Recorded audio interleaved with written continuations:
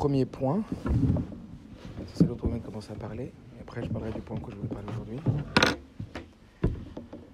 Euh, J'étais en train de lire un Dvar Torah sur Purim, très très beau, très très bien amené, très joli, très intéressant, bien construit, avec une histoire, un machal, super bon.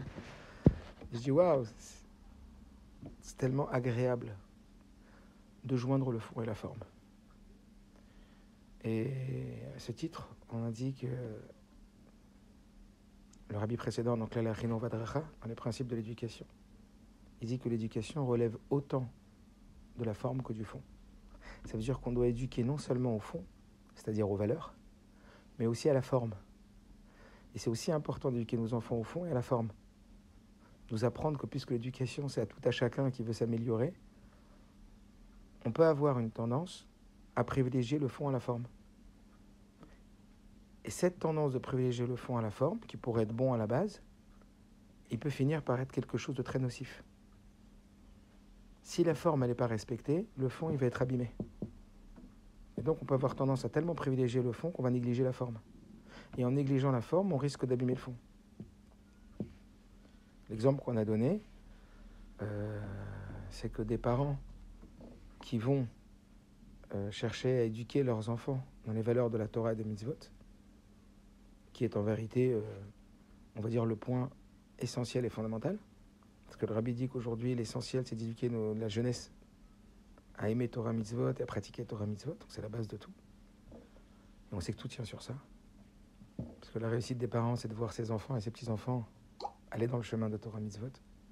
Et il n'y a rien qui a plus de valeur à nos yeux que ça. Si demain on vous dit vous êtes très très riche, très très très riche, mais vos enfants ont quitté chemin Torah mitzvot, ou alors plutôt euh, les enfants dans Torah mitzvot, mais vous n'êtes pas très très riche, mais vous êtes normal, il n'y a pas photo, même si c'est dur financièrement. Vous rappelez de l'histoire qu'un jour il y a le Rachag, le beau-frère du rabbi, qui a reçu une demande du rabbi d'aller ramasser de l'argent avec un donateur.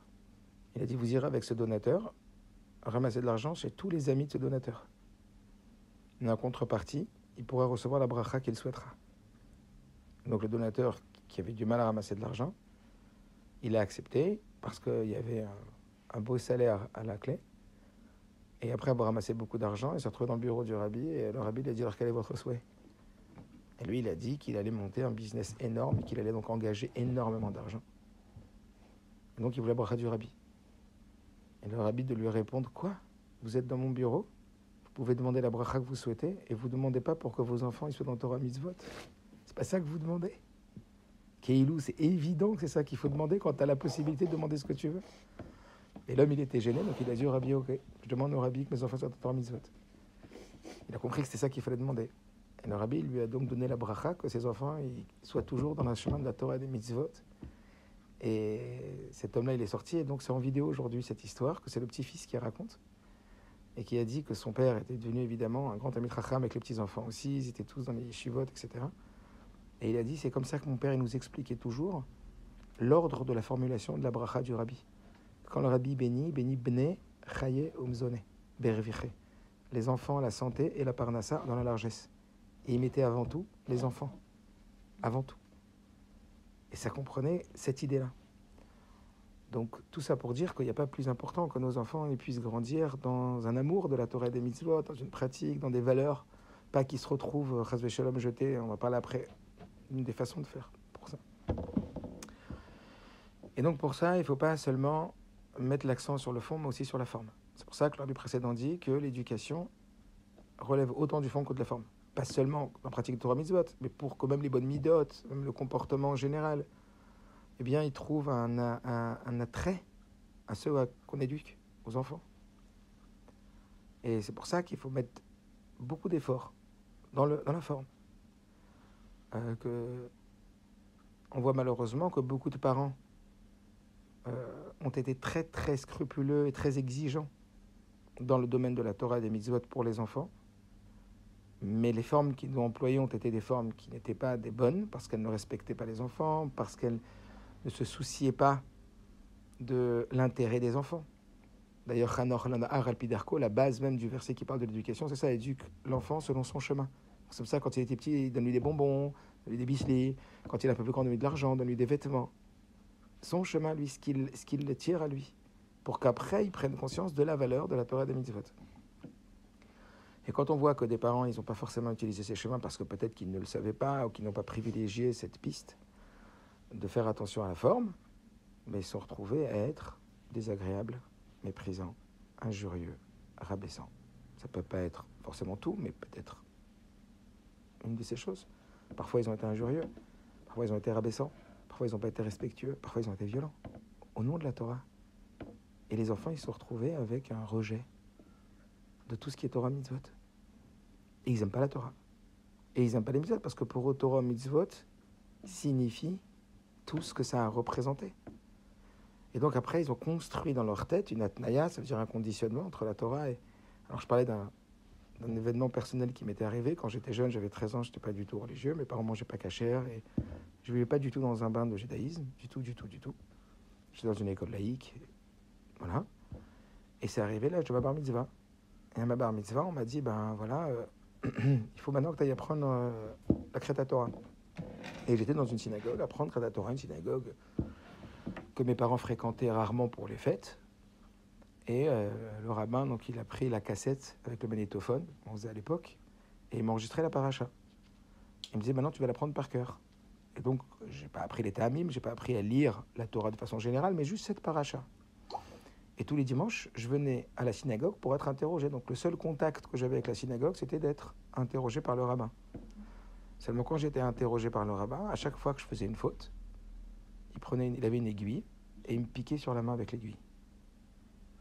Et donc c'était devenu pour moi une torture d'aller à ce cours-là.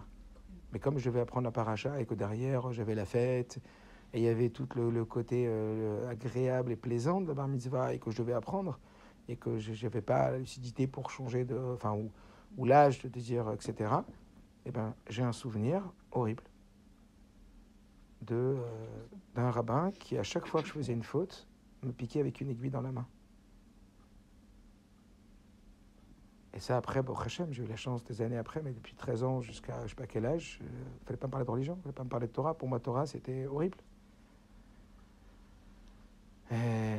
D'où l'importance de, de rééquilibrer les choses. De bien comprendre que si la forme n'est pas préservée, le fond, il va être abîmé. Donc on peut avoir des bonnes valeurs et des valeurs euh, très puissantes à transmettre qui sont des vraies valeurs et des bonnes valeurs intrinsèquement, c'est-à-dire en soi, c'est des très bonnes valeurs. Mais quand elles sont mal transmises, c'est une catastrophe. Quand elles sont transmises avec une forme qui n'est pas respectueuse, une forme qui n'est pas agréable, c'est comme quand tu écoutes un devoir Torah d'un rave, mais que euh, euh, je sais pas, c'est pas un bon orateur, ou les, il donne pas d'exemple, ou il n'y a pas de machalim. C'est devenu désagréable la Torah. Alors que quelqu'un qui va y chercher la forme, alors oui, c'est vrai qu'on a tellement peur de valoriser trop la forme et de n'oublier le fond et de, de, se perdre dans des formes. C'est vrai. Mais encore une fois, il faut chercher le bon équilibre. Il faut autant travailler, il faut travailler sur cette, ce fond, mais aussi travailler sur cette forme. Il ne faut pas négliger cette forme. Parce qu'elle est fondamentale. Et ça, ça peut s'appliquer dans toutes les relations, comme vous disiez tout à l'heure, dans les relations humaines, entre un mari et une femme. Toi, tu penses que tu as raison parce que ton mari n'a pas fait telle et telle chose ou il ne se comporte pas comme ça. Donc ça te donne, entre guillemets, des ayants droit de ne plus respecter les formes. Parce que dans le fond, tu as raison. Et tu verras bien qu'à la fin, la discussion va porter sur quoi? Ben, Je m'excuse, mais dans le fond, j'ai raison, on s'en fout de la forme. Eh ben non, on s'en fout pas de la forme. Le fond ne te donne pas droit à négliger la forme. Surtout pas parce que ça crée des dommages terribles. Et aujourd'hui, je crois qu'une des plus grandes euh, raisons des, des, écarts de la jeunesse à Torah Mitzvot, je ne parle pas des enfants qui n'ont jamais connu Torah Mitzvot. Je parle des enfants bizarrement qui ont grandi dans un, foyer respectant Torah Mitzvot, valorisant Torah Mitzvot, et puis qu'on voit que les enfants, bizarrement, pourquoi ils ne sont pas attirés? Et bizarrement, on voit que des enfants qui n'étaient pas du tout dans Torah Mitzvot à la maison, parce qu'on leur a jamais mal enseigné, et qui sont tombés sur des profs, ou ils sont tombés sur des gens qui étaient accueillants, chaleureux, doux, euh, Tzivot Hashem, Gan Israël, euh, en, soignant la, forme, ben, c'est devenu des, des, bouillants à Torah Mitzvot. Alors, alors c'est là qu'on se dit, oulala, parents, attention. C'est-à-dire que ce n'est pas un cours qu'on devrait faire là-dessus, c'est 100 cours qu'on devrait faire là-dessus. Parents, attention. N'allez pas abîmer. N'allez pas abîmer chez vos enfants ce qu'est la Torah et mitzvot.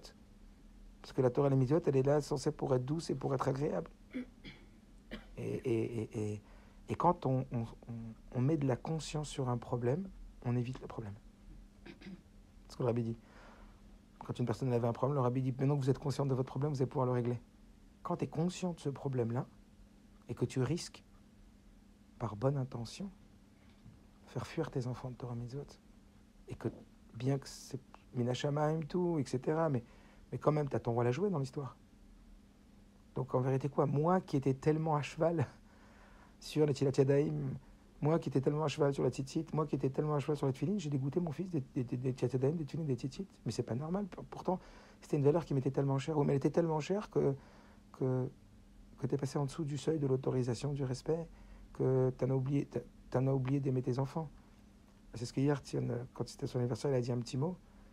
Il a dit que quand les bénis ils ont fauté, au moment de la faute de, Chet Hegel, faute du Vaudor, quand Dieu il a dit à Moshe, je vais effacer tous ces juifs euh, de, l'humanité et je vais à partir de toi rebâtir une humanité, en vérité, c'était un test que Dieu émettait à Moshe. C'était quoi le test? C'était de savoir si Moshe allait défendre ses enfants ou pas. Il allait défendre son peuple ou pas. C'était pas en vérité ce qu'il voulait faire Hachem. Hachem, il voulait pardonner. Mais il voulait voir si Moshe allait être là pour défendre. Et donc, Moshe, il a dit à Dieu, même s'ils ont fauté, ils ont fait la pire des fautes, je les aime quand même, je veux les sauver. Et c'est ça la Nekuda que Rabbi explique dans le Sikha sur le Chinour. Le Chinour, c'est quand même quand nos enfants ils font des choses. Euh, ça peut pas être pire que la faute du Vaudor.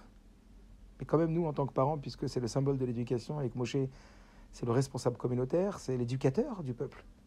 Eh bien, en tant qu'éducateur, n'oublie pas de les aimer, tes enfants, même quand ils sont pas comme il faut. n'oublie pas de te battre pour eux. Ça ne veut pas dire qu'on va justifier ce qu'ils font, mais on va justifier qui ils sont. Rappelez-vous bien de cette phrase, et on va en reparler juste après. Quand un enfant il fait quelque chose de pas bien, dis-lui ce que tu as fait, c'est pas bien, mais toi, tu es bien. Je dissocie l'acte de la personne. C'est pas à toi que je dis t'es mal. Quand je te dis non, on va le voir juste maintenant, je dis pas non à toi, je dis non à ta demande. Et ça, c'est vraiment, vraiment important. De vraiment travailler sur nous parce que, encore une fois, il peut y avoir euh, le Yetzerara qui se mêle à nos bonnes intentions. C'est pas parce qu'on a une bonne intention qu'il n'y a pas euh, précaution à prendre. Et, justement, on dit, euh, je sais pas en français, c'est quoi cette phrase qui dit euh, euh, tata, derrière, les bonnes, derrière les bonnes intentions, se cache derrière les bonnes intentions, euh, je sais pas quoi. Ça méfie-toi de tes bonnes intentions. Quand elles sont vraiment des bonnes intentions. Parce que les bonnes intentions, elles vont cautionner plein de choses. Pour faire comprendre à mon mari, pour faire comprendre à mon employé, pour faire. Il faut que je passe par là, il faut qu'il comprenne, quoi. Il faut qu'il faut voit. Donc, ça crée un ayant droit qui, qui en réalité n'en est pas un. Et c'est toi qui te l'octroie tout seul, cet ayant droit. C'est pour ça que quand tu te rappelles et que tu as conscience que respect avant tout, que valeur avant tout de l'estime de l'autre, de la valeur de l'autre, de l'amour de l'autre, ré réactive et réapproprier l'amour que tu as pour l'enfant quand l'enfant fait quelque chose de pas bien. Pour bien dissocier, attention, toi je t'aime. Même si ton acte je t'aime pas. Et c'est toute la leçon que le rabbi nous a donnée en tant qu'éducateur mondial, international. Il a dit même si c'est des juifs fauteurs, je les aime. Israël ou comme Moshe Rabbeinu. Et c'est comme ça qu'il nous a fait revenir. Parce qu'il dit même si vous êtes des gros fauteurs et, vous, et quand ça vous arrange, vous faites ça. Quand... Malgré tout, je vous aime. C'est-à-dire, je me reconnecte avec l'amour que j'ai vis-à-vis de mon enfant, même quand je vais devoir le sanctionner. Même quand je vais devoir lui dire qu'il ne doit pas le faire. Et que, et que je vais te faire, mais je vais lui dire de ne pas le faire. Et je vais aller jusqu'au bout, même si ça me fait de la peine. On n'est pas en train de parler de permissivité, attention. On n'est pas en train de dire parce que j'aime l'enfant, alors je suis permissif. Non, non, non. Je l'aime, donc je me dis qu'à sa place, comme on sait que l'amour, c'est quoi Avat Israël, c'est de dire euh, comment j'aurais aimé être jugé si j'étais à sa place. C'est pour ça qu'on dit ce que tu n'aimerais pas qu'on te fasse, ne fais pas aux autres. C'est ça Avat Israël, selon Hillel Zaken. Ça veut dire comme toi, tu pas. C'est l'amour propre. L'amour propre, il fait qu'on se défend toujours dans nos jugements quand on a mal fait. Il utilise son amour propre pour l'autre. C'est-à-dire, comment j'aurais aimé être jugé si j'avais fait cet acte? Ben, J'aurais aimé qu'on me dise que c'est mal, peut-être être puni, peut-être être limité, mais toujours avec beaucoup d'empathie, avec beaucoup de chaleur, avec beaucoup de forme. Est-ce que vous comprenez ou pas? Ça veut dire ce message-là, c'est un, c'est un message rédempteur pour tous ces enfants qui sont nés dans le judaïsme et qui s'éloignent. Si les parents prenaient conscience de ça, et qu'ils en prenaient pas seulement conscience, mais qu'ils mettaient en application à ce moment-là ce travail à effectuer sur soi. C'est pas parce que j'ai pas parce que j'ai raison que je peux tout dire et que je peux tout faire. c'est parce que j'ai raison que je peux devenir euh, indifférent. Parce que la différence, c'est aussi une forme d'agressivité. Euh, je peux devenir euh, méprisante, je peux devenir euh, mauvaise, je peux devenir hargneuse, je peux devenir vindicatif. Est-ce que vous comprenez ce que je veux dire? Et Moi, je pense qu'en... Oui. que avec des petits enfants, c'est plus facile de Bien faire sûr, ça. bien sûr. moi, la semaine dernière, j'ai pris le petit avec moi, on a été à Primark. Et euh, en passant à la caisse, il y a toujours des petites boîtes de mentos, tu vois, les chewing-gum mentos. M'a dit, tu peux m'acheter un chewing-gum? Je lui ai dit non, mais je lui ai pas dit que c'était pas cachère. Et je l'ai vu après en sortant qu'il avait pris dans sa poche les chewing-gums qu'il avait volés. J'ai rien dit jusqu'à que. j'ai- Tu sais, j'ai vu ce que t'as dans ta poche. hein. Après, je me suis mis bien à sa hauteur, tout ça. Je, lui ai fait comprendre que. Il m'a dit, mais tu m'as pas dit que c'était pas cachère, tu m'as dit juste non. Alors bon, après, je lui ai expliqué tout ça. Mais je sais que si ça avait été une au-dessus de lui, une sœur au-dessus de lui ou quoi, j'aurais pas réagi pareil. Je me suis dit, lui, il est petit. C'est-à-dire, lui, j'ai bien fait avec lui, je pense. Mais est-ce que vous avez été lui faire rendre... euh, Oui, après on a été au monsieur, j'ai regardé, il a volé. Bon, le, monsieur il a rigolé parce que bon, euh, il était petit comme ça, c'était mignon pour eux. Mais euh, je pense que lui, j'ai bien fait. Mais avec une autre, j'aurais pas fait Parce que vous aviez du recul. Parce qu'il était petit. Ouais, je me suis dit, bon, lui, euh, ça va. Il est petit. Genre, lui, il, il- il- il s'est plus dit, ah bon, si ça avait été pas c'est sûr que je l'aurais pas volé. Et l'autre, il a dit quand même, elle a dit non, alors je l'ai pris. Mais une autre, par exemple, une y a une telle ou avant, j'aurais été plus euh, sévère. Ou... On peut pas faire ça à tout le monde, en fait. Ben justement, c'est plus dur. Et notre travail, c'est de se dire, justement, même s'il a 17 ans, il est petit. Même s'il a 40 ans, il, il agit comme un petit. Est-ce que vous comprenez Prendre du recul. Prendre du recul. Alors regardez, c'est une très belle transition ce que vous venez de faire, parce que ça va être le sujet du cours qui devait avoir lieu aujourd'hui, qui va avoir lieu maintenant. Ce que, exactement ce vous venez de dire. Le sujet du cours d'aujourd'hui, à part ce premier point, donc. Donc le premier point, on intitulerait euh, euh, le fond et la forme.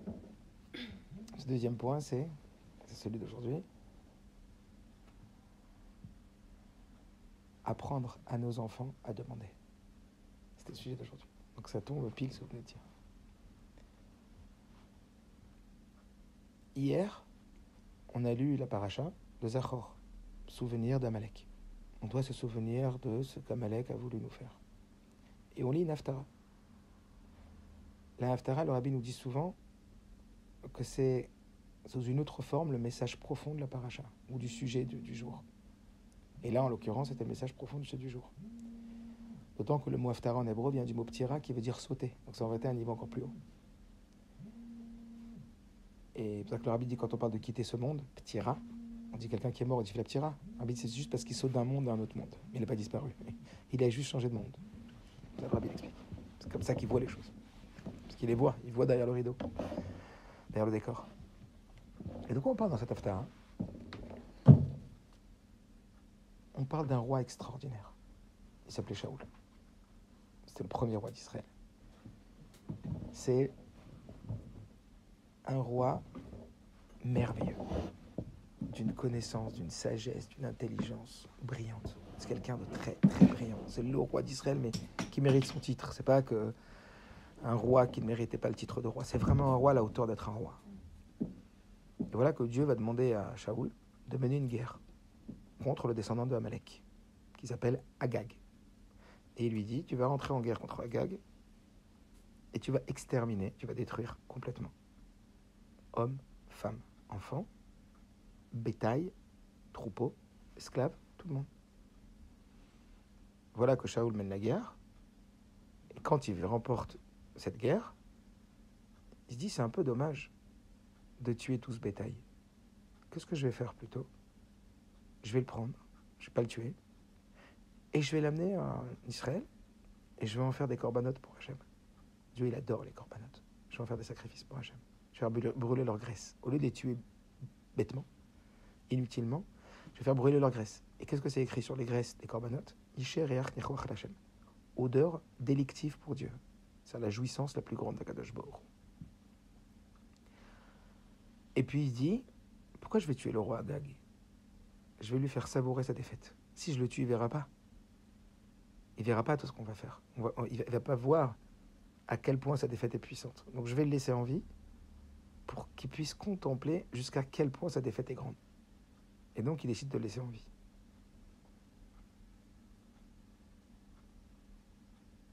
Dieu va parler au prophète Shmuel, Shmuel à Navi, et lui dit va voir Shaoul et va lui retirer le titre royal. Enlève-lui la royauté. C'est l'Aftara d'hier. Pourquoi? Parce qu'il n'a pas écouté ma parole. J'ai demandé de tuer tout le monde. Il a décidé de sauver le bétail pour en faire des corbanotes. Et de laisser le roi en vie pour lui faire savourer la défaite. À partir de maintenant, il ne peut plus être roi. Je vous écourte l'histoire. Shmuel, Navi, le prophète Shmuel, il arrive, il dit à Shaoul C'est quoi ce bétail que j'entends? Il dit J'ai voulu mieux faire. J'ai voulu prendre le bétail et le tuer, mais pas n'importe comment, en corbanote. Et j'ai voulu savourer, faire savourer au roi sa défaite. Shmuel Navi lui dit Je suis vraiment désolé. Mais Dieu est venu me demander de te destituer de la royauté pour toujours. Et c'est là qu'il va passer la royauté à David Ameller. Et ça va être terrible. Parce que pour Shaoul, vous imaginez, ça lui enlève tout.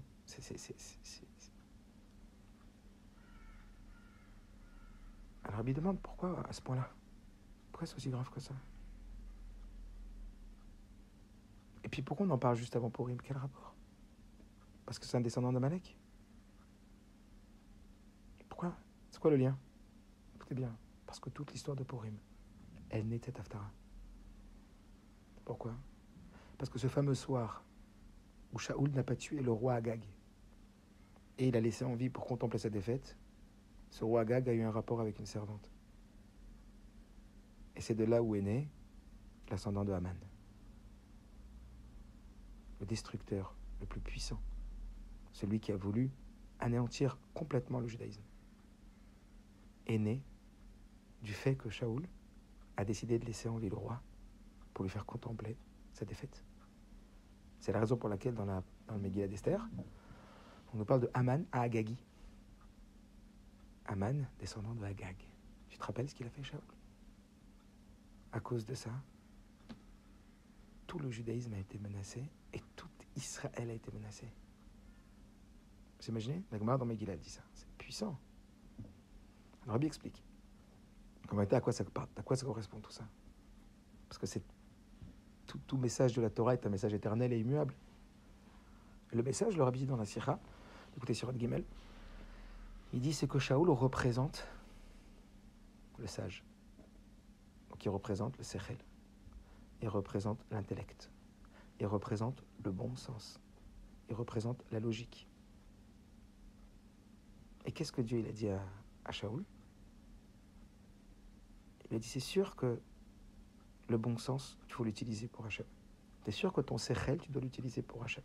C'est sûr que ton intelligence, tu dois l'utiliser pour Hachem, puisque c'est ta valeur ajoutée en tant qu'être humain. C'est quoi la valeur ajoutée? C'est quoi la, force la plus grande qui a chez l'être humain? La, plus noble, la plus puissante C'est notre intelligence, c'est notre sechel. Donc bien sûr que la Torah, te dit, mais surtout, surtout, mets ton sechel au service de Dieu. Mets ton sechel au service de l'étude rentre dans la Gemara, dans des questions, réponses, logiques. Rentre ta tête dans le service de Dieu. C'est ça qui va t'élever le plus. Parce que c'est pas rentrer ses pieds, c'est rentrer sa tête. C'est rentrer son intelligence. Parce que c'est la plus grande vertu de l'humain. Donc mettre au service la plus grande vertu de l'humain, c'est bien le sens qu'on doit donner à cette puissance que Dieu nous a donnée, qui est l'intelligence, pour Dieu. Seulement, il faut s'en méfier. Il faut faire très attention. Parce que l'intelligence, c'est quelque chose de très puissant mais très dangereux. Quand il a dit je veux emmener en sacrifice ces animaux, ça veut dire que je veux emmener le relève à Hachem, c'est-à-dire la meilleure partie, la grâce, la partie grasse qui est interdite d'être consommée. Comme on dit kol relève Hachem, tout le gras pour Dieu. Donc oui, il faut emmener son relève, c'est-à-dire son gras, c'est-à-dire chez l'homme c'est quoi notre gras? C'est notre intelligence, le service de Dieu. Mais attention, il y a un danger. C'est que quand Dieu t'a dit, tue le roi, quand Dieu t'a dit détruis les animaux, ne rentre pas à ton sérel. En disant je vais, être zélé, je vais faire mieux que ce que Dieu a dit. On a trouvé dans d'autres situations où des hommes ont été zélés et Dieu a énormément apprécié ce zèle. Mais à condition que ça ne contredise pas l'ordre divin. Quand Pinchas il a été empalé avec Cosby Batsour, etc., il était demandé à Moshe Rabbeinu d'abord. La halakha, elle ne contredisait pas ça. Donc des fois, on est animé de super bonnes intentions. Mais si ce n'est pas validé par la décision divine, notre bonne intention, elle est en vérité très très dangereuse. Et qu'est-ce que la Haftarah nous fait ici? Qu'est-ce que Dieu nous montre? T'as beau être le roi d'Israël. T'as beau avoir une intention pure. Parce que c'est pas que Shaoul voulait garder le bétail pour lui. Et qu'en fait il voulait s'enrichir. Il dit ah, dommage, je vais les tuer tous, je vais les garder, je vais faire de l'argent, je vais devenir plus riche. Non, je vais faire mieux pour Hachem. Donc son intention était pure. Son intention était l'ishma, ça veut dire les shamaïm. C'était pas pour lui.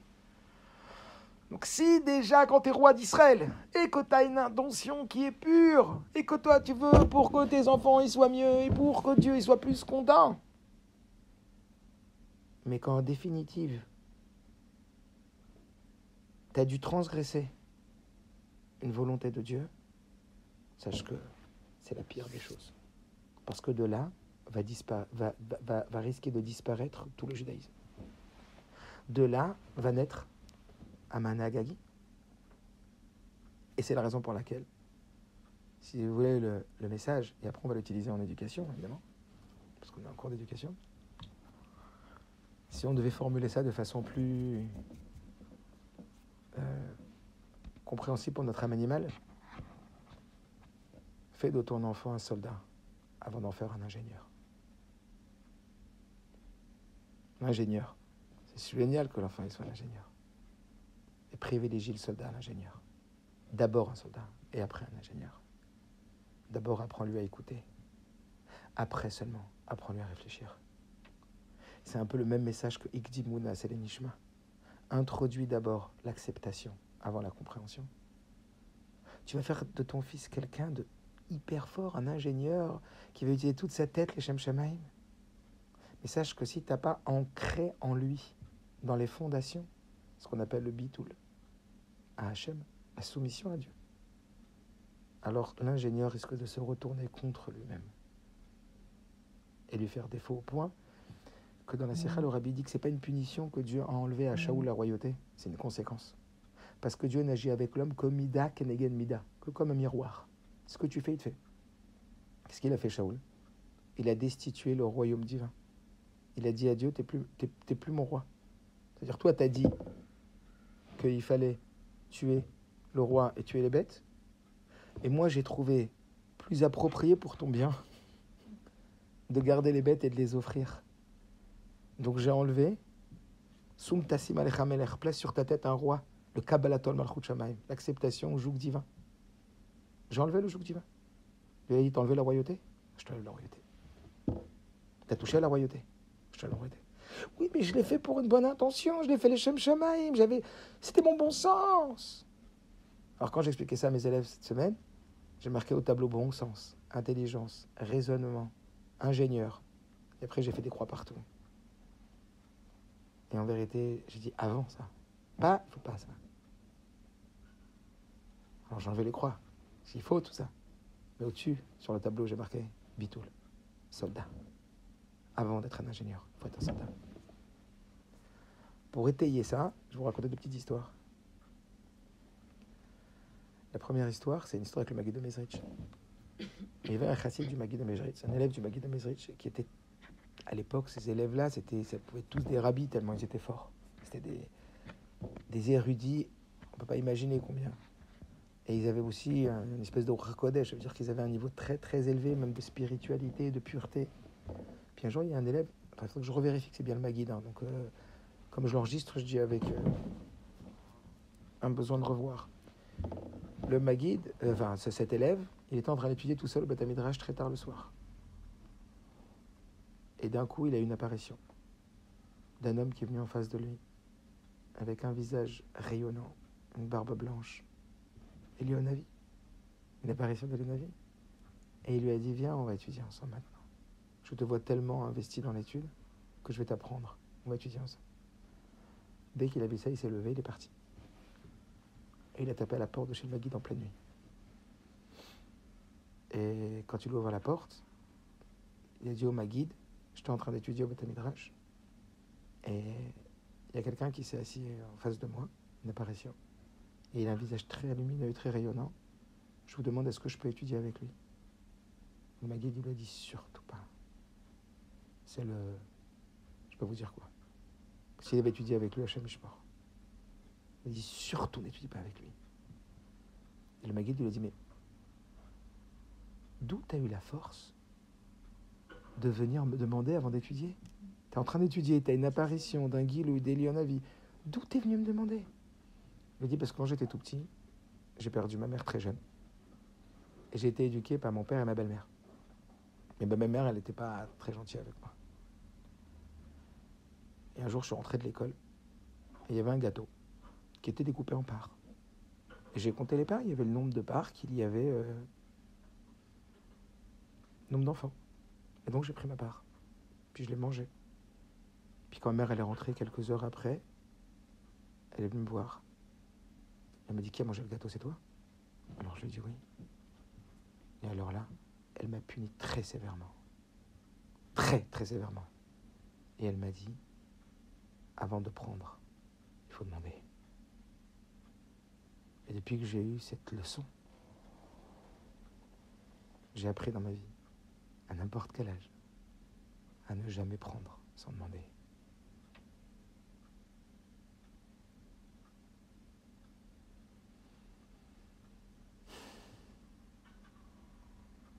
Alors parfois, c'est pas évident pour nous. Mais l'idée, c'est d'inculquer à nos enfants qu'il faut apprendre à demander avant de prendre. Ça s'arrête pas là. C'est pas seulement demander de prendre. C'est qu'il y a plus fort que d'être un petit génie, que d'être plein de bonne volonté. Il y a des règles, il faut les respecter. L'enfant n'est pas roi c'est aussi il accepte le roi. Et nous, on est les représentants de Dieu sur terre. Donc éduquer nos enfants depuis tout petit à respecter ce qu'on demande. Intransigeant sur ce qu'on dit.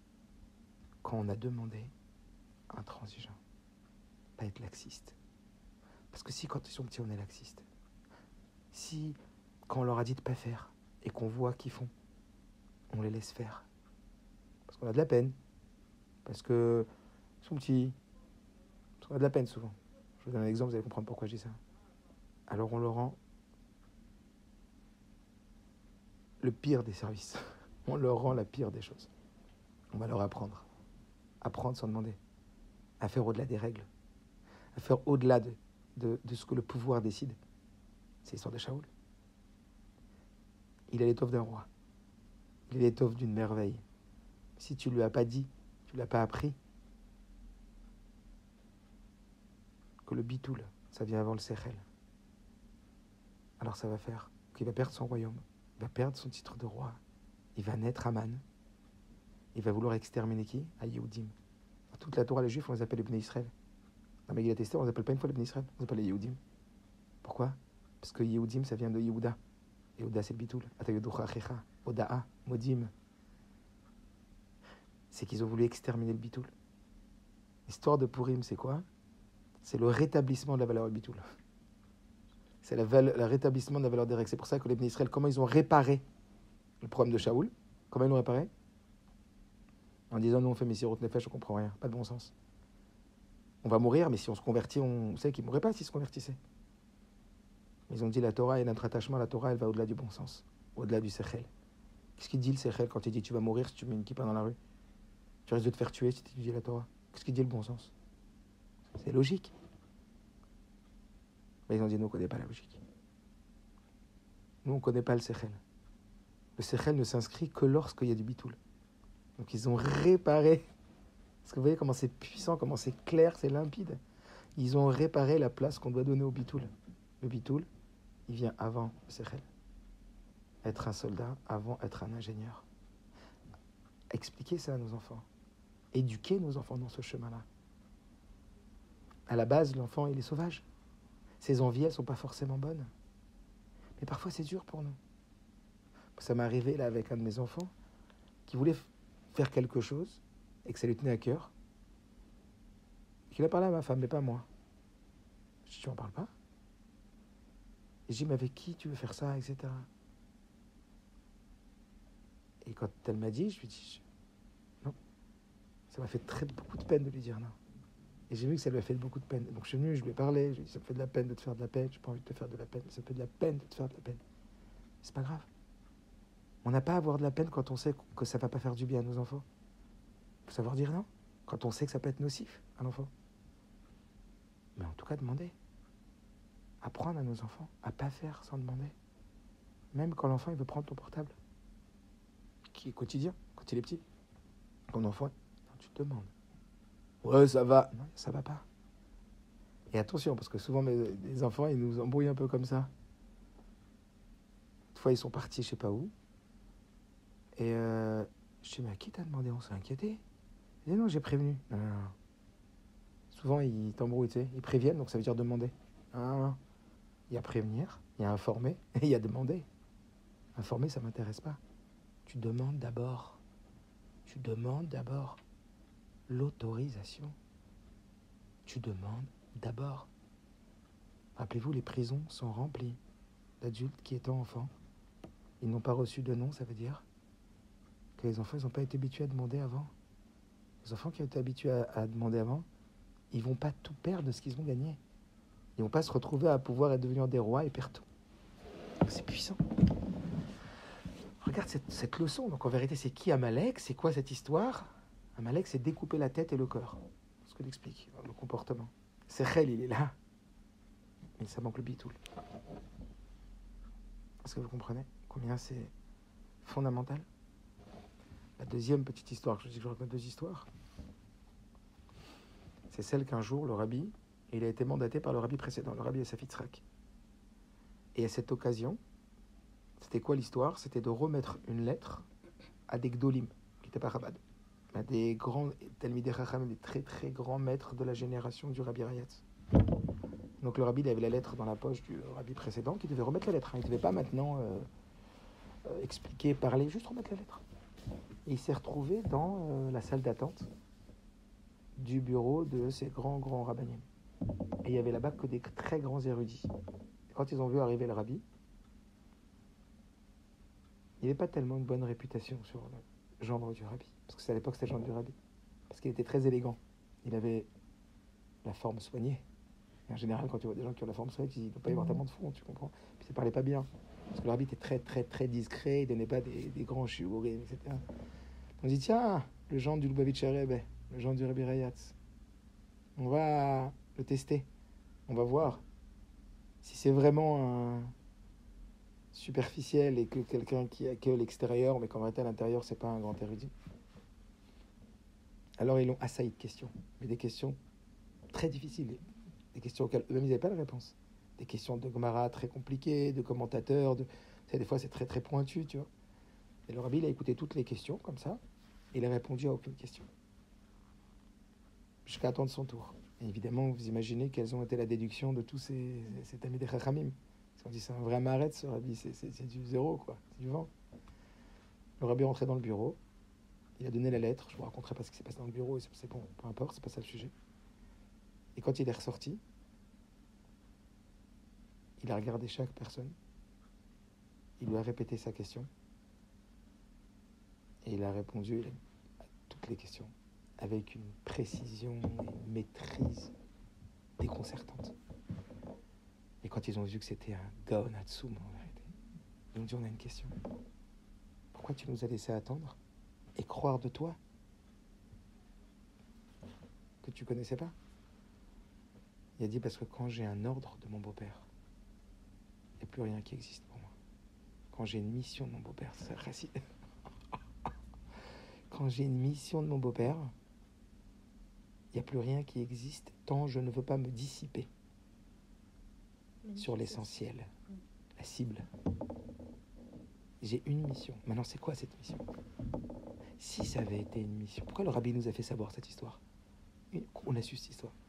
Si ça avait été une mission où il aurait fallu qu'il explique tout un pile-poule de Gemara ou tout un sujet hyper compliqué, tu vois, où il fallait, qu'il oublie rien, ou qu'il retransmette verbalement un quart d'heure de propos du Rabbi Rayatz qu'il voulait pas oublier, tu comprends qu'il se concentre?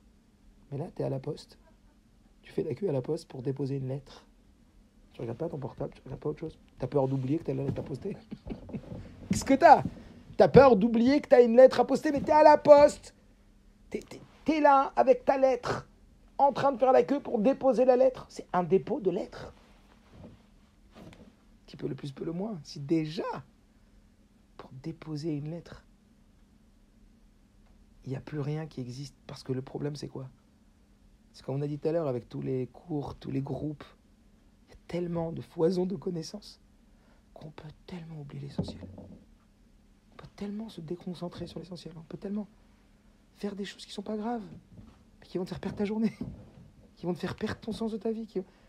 Le but, c'est pas que de lancer des flèches, c'est de viser la cible, de pas rater l'essentiel. Donc oui, le sechel, c'est beau, oui, l'intelligence, c'est magnifique, oui, tu peux faire des choses extraordinaires et exquises pour Dieu. N'oublie pas l'essentiel. L'essentiel, c'est pas de rendre nos enfants des ingénieurs, mais de les rendre des soldats. Parce qu'il n'y a plus aucun ingénieur, il y a le soldat. Après, vous avez compris pourquoi c'est complètement lié avec ce que vous avez dit quand il a pris sans demander le bonbon, quand il est parti. Est-ce que vous comprenez ce que je veux dire?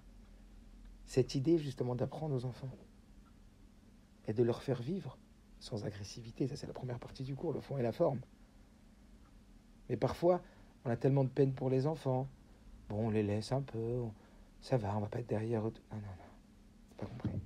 Mon rôle, c'est autant de te donner les moyens d'exploiter ton potentiel d'être un ingénieur. Comme le rabbi dit, qui relève charit, c'est quoi le but du rinour C'est quoi notre but dans l'éducation? C'est de permettre aux enfants d'exploiter leur potentiel au maximum, d'être le meilleur d'eux-mêmes, d'être la meilleure version de soi-même. C'est ce qu'on explique toujours. Attention, ton enfant, ça doit être la meilleure version de lui-même. S'il a des aptitudes, développe, rappelez, donc la rinour vadracha, si c'est euh, faire de la musique, développe, de l'art, développe, parce que c'est par là que va passer sa sensibilité de l'âme et qu'après ça va se rejaillir sur Torah Mitzvot dans tous les domaines. Donc épanouis ton enfant, épanouis ton enfant dans tous les domaines et en particulier en Torah Mitzvot. C'est vachement important d'épanouir son enfant, de l'ouvrir. Mais en même temps, avant ça, c'est encore plus important de le rendre un soldat. Comprenez De lui faire rentrer dans ses gènes. Que quand on a dit non, c'est non même si tu as une super bonne cavana, tu vois. Mais j'ai voulu te faire plaisir, maman. T'as dit non, que je sorte pas, mais j'ai voulu te faire plaisir. C'était pour. Euh... Non, mais je t'ai dit de pas descendre la poubelle. Oui, mais c'était pour te faire plaisir. Je savais que ça allait te faire plaisir. Non, mais quand je te dis non, pas ah, merci beaucoup. Euh, non. Si je t'ai dit non, il faut habituer nos enfants. Un non, c'est un non. Et quand Dieu dit non, c'est non. Après, j'ai demandé à mes élèves de réagir terminal, quand on a parlé de ça un petit peu, je leur ai dit Qu'est-ce que vous pensez de Shaoul? À quoi ça ressemble dans notre vie au quotidien? Alors elle a dit Bah voilà, par exemple, quand tu veux faire beaucoup la tzedaka, mais pour faire beaucoup la tzedaka, tu vas faire des embrouilles. Mais Dieu il a dit non, je veux, je veux pas de tzedaka si c'est avec des embrouilles que tu gagnes ton argent. Oui, mais ça avait été tellement de pauvres, ils ont tellement bien mangé. Et puis je gagne rien, c'est pas pour moi. Et puis je le dirai à personne. Donc c'est ni pour ma gava, ni pour mon orgueil que je suis devenu riche. Et c'est que pour l'intérêt des pauvres. Dieu, il adore qu'on donne tzedaka aux pauvres. Il n'y a pas plus que la tzedaka. Il n'y a pas plus qui fait plaisir à Hachem. Oui. Et si ta tzedaka, elle vient d'embrouille, alors c'est Shaoul. On revient à Shaoul. Après, un autre élève m'a dit oui, c'est un peu comme si. J'ai beaucoup aimé toutes leurs réactions. Un qui fait tchouva comme ça. Il dit c'est comme si maintenant, moi, euh, je fais tchouva, donc je suis chômeur négligé, je touche plus les filles, tout ça. Et euh, il y a ma tante et euh, mes cousines euh, que si maintenant j'ai plus embrassé mes tantes et mes cousines, je sais que ça va faire la guerre avec elles. Mais Dieu, il a dit non. On n'embrasse pas les tantes et les cousines. Donc il faut mettre de la forme, il faut leur expliquer, il faut pas qu'elles se vexent. Mais, moi, je peux pas parce que j'ai peur qu'elles se vexent, que ça peut être les deux. Vous comprenez ce que je veux dire? Volonté. C'est mon intelligence qui me dit, c'est mon, mon bon sens qui me dit c'est plus important qu'elles ne soient pas vexées, non que, je les embrasse. Non. Là, tu rentres ta tête, là. Là, tu as rentré ta tête. C'est bien de la rentrer ta tête. Mais pas à ce niveau de la décision divine. Tu rentres ta tête comment faire pour leur expliquer que la décision divine, elle est ainsi? Mais tu rentres pas ta tête pour changer la décision divine. Alors après, un autre cas, c'était euh, des enfants qui vont se retrouver invités chez une tata euh, où la cache-route, elle n'est pas comme il faut. Ou chez une mamie où la cache-route, elle n'est pas comme il faut. Ah, qu'est-ce qu'on fait? Ça va, on va pas faire d'histoire. Maman, elle va crier, mamie, elle va se vexer, mon père, il va se disputer avec nous. je mange. Non. Si c'est pas cachère, tu sais que c'est pas cachère. Tu sais que la viande, n'est pas cachérisée, tu sais que les produits sont pas cachères. mais ça va faire des disputes tellement grandes. tu rentres dans les calculs. rentre ta tête. Attention, le bon sens, ça vient après le bitoul. Ouais, mais j'ai tellement envie de cette montre. Après, on a parlé des tavots, des plaisirs. Mais j'ai, parce qu'après, tout, tu peux avoir peur de V, c'est tout le bon sens. Mais c'est tellement un kiff. Mais si tu as éduqué l'enfant, en fait. si tu as éduqué l'enfant à faire passer le soldat, bitoul, les règles, avant tout. Avant par- la peur. de- Parce que là, je suis monté très haut. On dit, voilà, là, on est en train de parler de, de Shaoul qui avait qu'un intérêt pour Dieu. C'était même pas un intérêt pour lui. Il voulait faire plaisir à Hachem. Donc il était désintéressé complètement. Il, avait, il servait une bonne cause, c'était une bonne intention. Qu'est-ce que tu dis Même si tu as la plus belle des intentions qu'il puisse y avoir, pas pour toi, mais pour Dieu, c'est la cata. Donc à plus forte raison, quand c'est pour ton intérêt à toi, à plus forte raison, parce que tu as envie d'avoir la belle montre, à plus forte raison, si tu as envie d'avoir une, une copine et avoir plus d'affection et recevoir de l'amour et de la sensibilité et de l'affection. Oui, au bon moment, comme Dieu l'a dit. Tu l'auras quand il faudra. Mais maintenant, c'est pas bon pour toi. Donc éduquer l'enfant, parce que, encore une fois, tout est une question d'habitude, tout est une question d'installation. Vous vous rappelez? Quand tu installes chez tes enfants ce concept, sans agressivité, sans violence, sans manque de respect, rappelez-vous, ce qu'on a dit tout à l'heure que j'allais vous sortir maintenant. Je dis non à ta demande, je dis pas non à toi. À toi, je t'aime, à ta demande, je dis non. Ma fille qui m'a demandé ça et ça, je dis, je dis non, ma fille. Mais je suis resté une demi-heure dans le chambre lui faire des câlins. Je, je dis, je dis non à ta demande, mais je dis pas non à toi, toi, je t'aime. Et moi, ça me fait de la peine de te voir comme ça et ça me déchire le cœur. Mais je suis obligé de te dire dans ma vie. Et ça fait de la peine. Mais des fois, tu as cette peine-là, cette fameuse peine-là. Elle te fait céder, mais en vérité, quand tu cèdes, tu as détruit le gosse. Tu lui as enlevé cette autorité sur lui-même, tu as enlevé ce bitoul. Tu fait que le contraire du Khinour. C'est là où il faut se démarquer de l'enfant roi. Est-ce que Vous comprenez ou pas? Bien sûr qu'il faut faire attention à l'enfant, bien sûr la forme, bien sûr qu'il faut, il faut, il faut être dans le ludique, dans le jeu. Que, que moi je vois qu'à chaque fois, par exemple, avec les enfants, qu'on se pose des questions, euh, euh, même je me rappelle quand on était en vacances là, on s'est assis tous et commencé à sortir un truc de questions-réponses. C'est ça, de Torah. Il faut habiller la chose, que ce soit agréable. Tout à l'heure, je disais de voir Torah, mais c'était joli, il y avait une, un beau machal. C'est un kiff. À nous de mettre de la forme, que ce soit ludique, que ce soit chouette, que ce soit vivant, que mettre de la musique, que ce soit simra, dynamique, joyeux. Dans un cadre. Il y a des règles. Bitoul avant. L'aide pas trop. Être soldat avant d'être ingénieur.